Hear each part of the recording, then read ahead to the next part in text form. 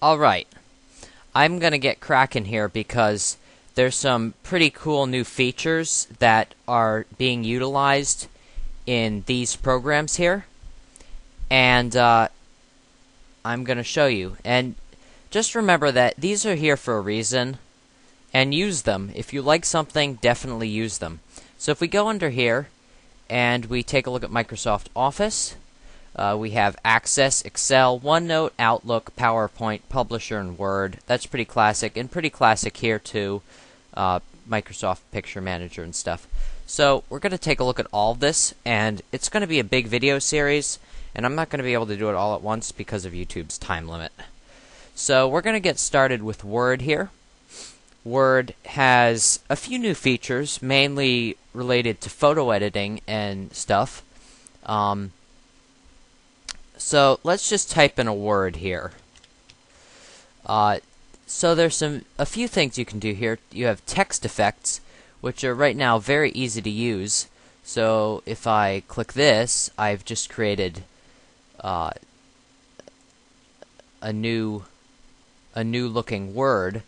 And the nice thing is that it's so easy to do here, whereas in the old versions of Word, text effects were very um, they were more difficult.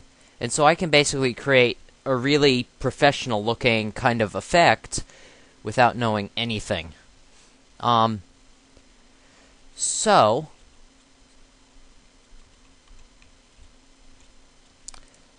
and then the other thing is you with the paragraph you have all of this stuff on this page is basically the same as Word.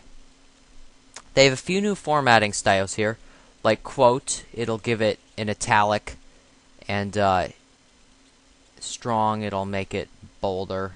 Uh, I don't see that. Uh, title, this is great if you want to write up like a, a, a nice looking article, and I can clear formatting if I don't like it. Um, one new feature I like here, and I'm going to get right to it, is if you click Insert, uh, Screenshot, Screen Clipping. So this brings you to a tool very similar to um, Snipping Tool, which is with Vista and Windows 7. So I like this picture here. We're going to take this picture, it automatically resizes it, and it brings me to my uh, picture tools and I can do any sort of fancy schmancy uh, workup, and uh, I can put shadows. Uh, some of these borders and the circular looks are new with um, Word 2010. Uh, picture borders, and they're making a few of these things easier to use. Um, a lot of this stuff is very the same.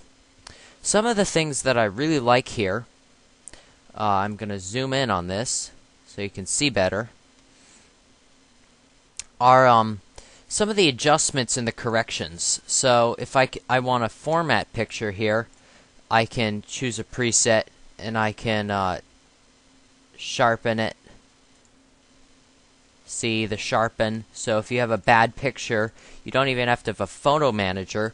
You can just throw it into Word and correct it for part of your document. You can uh, manually edit the sharpening. And it's quite an effective sharpener. Um, on this picture, not really. And you can alter the brightness and the contrast to be whatever you suits your needs. So if you don't have a perfect image, you can tune it up to look great. Um, and that's all displayed. You can get to it that way, or you can view it on the uh, corrections. So that's right here, and so you can do whatever you want. Color, you can automatically recolor, so you can make it a black and white 50%, black and white 75.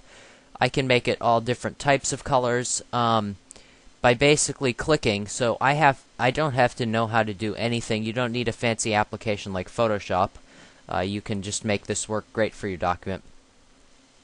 Uh, these are great image effects here, actually, too, that you can use. Uh, and they're actually pretty much the same as Photoshop's in many cases. Like some of the some of them, like this one, is even better. I find, uh, for image effects, for painting looks, and um, so you can compress your pictures or whatever. And the other thing you can do here is you can crop your pictures, and you can either just crop and it'll show you what you cropped or you can crop to a shape. So I'm gonna make this uh, moon moon shape. And uh, I can alter that if I want to look more like a moon. I can crop to a, a shape for a second time. I'll make a sun out of the moon. So the possibilities are really now endless with Word in terms of picture uh, editing. And uh, formatting too. So you can really achieve anything you want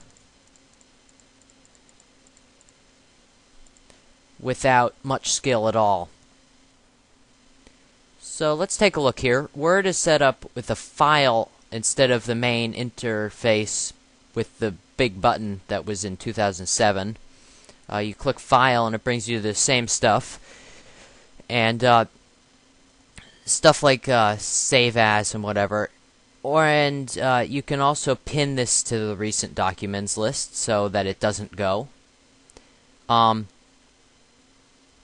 and you can save, save as, open, close, info. You can look at permissions. You can protect documents, check for issues. Um, recent, it'll show you recent stuff. New, you can create anything you want. You can manage budgets. Uh, really, you can you have endless possibilities, and basically, this is almost like Publisher because there are so many templates, and you can search Office.com for templates. Printing.